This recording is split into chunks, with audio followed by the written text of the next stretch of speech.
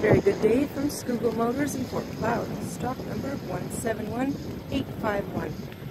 This is a 2017 Chevrolet Traverse 2LT all-wheel drive. This is a seven-passenger SUV powered by a 3.6-liter six-cylinder engine and an automatic transmission. This SUV is white in color with chrome trim and details. 17-inch wheels. Now this Traverse 2LT is a fully loaded vehicle. Take a look at the interior. Light gray interior color, power windows, doors, and mirrors. A six-way power adjustable premium leather seat.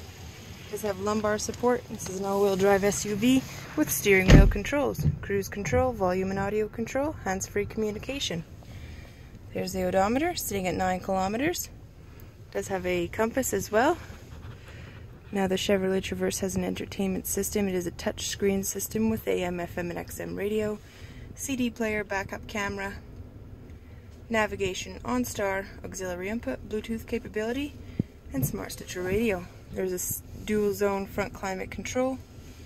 Two of the controls for fuel economy and trips there.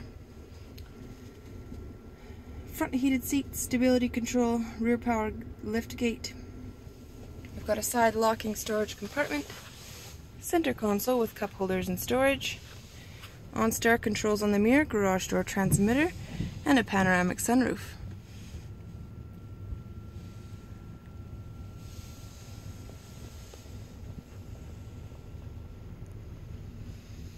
Second row of the Traverse is two bucket seats. They do fold down and are adjustable.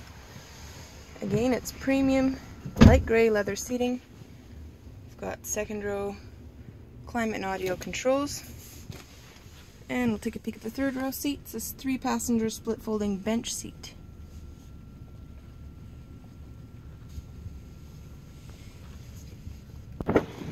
As mentioned, the Traverse does have a power lift gate, and here we're looking at the cargo space.